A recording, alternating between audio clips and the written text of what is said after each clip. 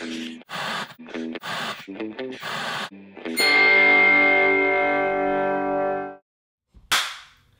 going everyone and welcome to the show. I'm your host Mike Star and on today's video I thought I'd like to talk to you all about a movie that I watched last night for the first time. And the movie title is titled Big George Foreman.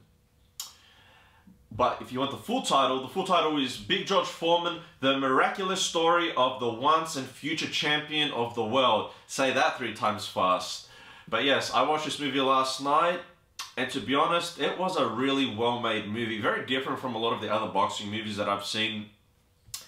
And for those of you who don't know who George Foreman is, he was once the heavyweight champion of the world. He lost to Muhammad Ali, who is considered one of the greatest boxers of all time.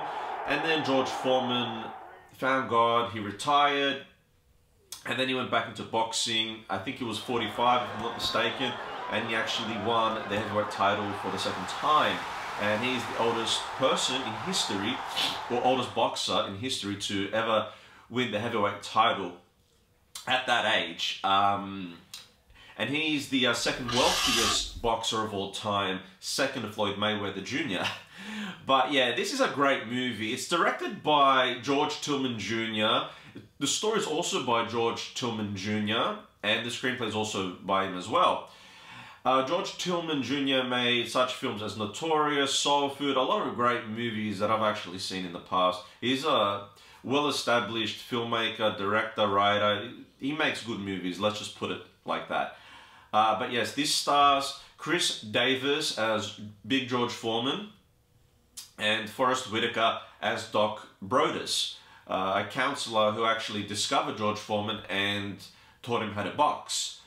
But, uh, okay, I'll give you all the synopsis of this movie. I'm going to break this synopsis down into three parts, and then I'll give you my overall rating of the movie as a whole once I've finished my synopsis.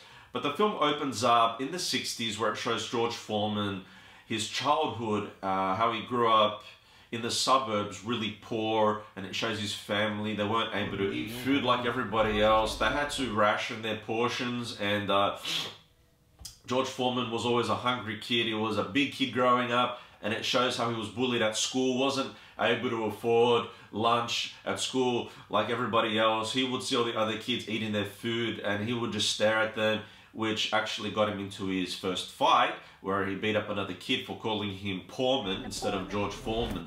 And then from there, uh, he goes to this school when he's older, this school for disadvantaged kids.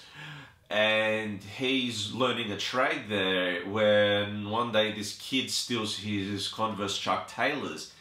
And he finds the kid and then Forest Whitaker comes and breaks up the fight because George Foreman chases him uh, to his room, punches a hole through his door. It's quite over the top, but I'm guessing this is what really happened. And then Forest Whitaker breaks up the fight and notices this guy's got some power, teaches him how to fight, and then yeah, and then George Foreman becomes a really good boxer he wins over 20, 30 fights, and then he gets a shot at the the world title.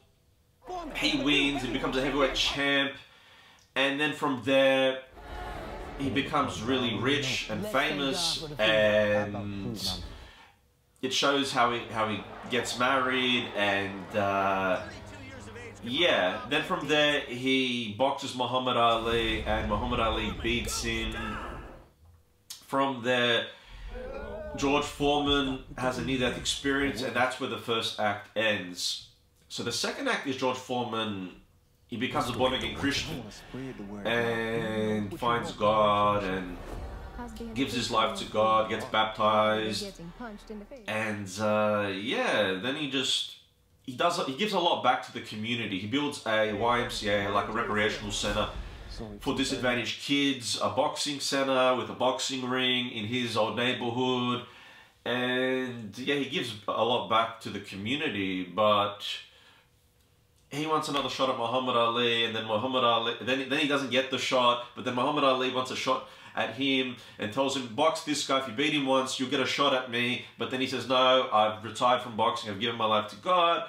And that's pretty much the second act. And then the third act, he comes out of retirement as a boxer and starts training again as an older man. I think he's 45. And then he ends up uh, winning the uh, heavyweight title again, uh, coming out of retirement as this old man. But it, it shows that doesn't matter how old you are, it shows that if you're talented and you work hard, that you can do anything with your life. And George Foreman did that. And yeah, that's what the film is essentially in a nutshell. But throughout the film, you do see a lot of his family life, a lot of his boxing life, and then his life for God. And then the third act is pretty much coming out of retirement into boxing.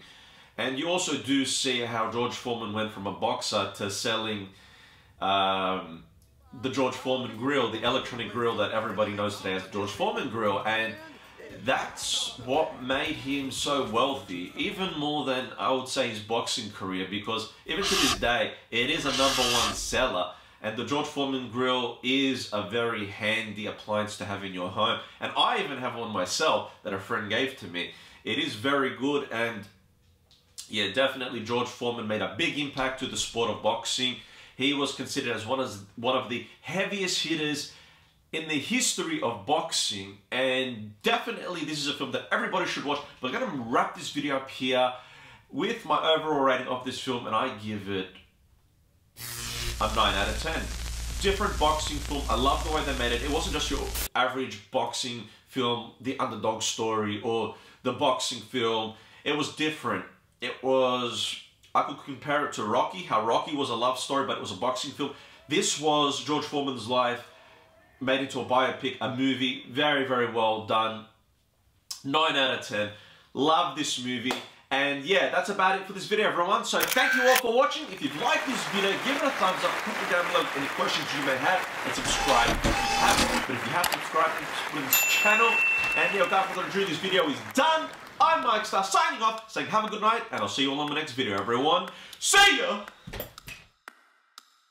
That funny little grill deal you signed is starting to generate some substantial checks. Really? Now I'm just surprised it shows a big old fat guy like me to sell a beer to help people get lean.